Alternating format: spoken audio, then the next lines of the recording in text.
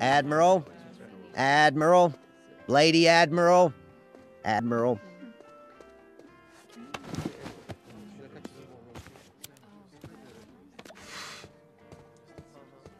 I'm sorry, Admiral.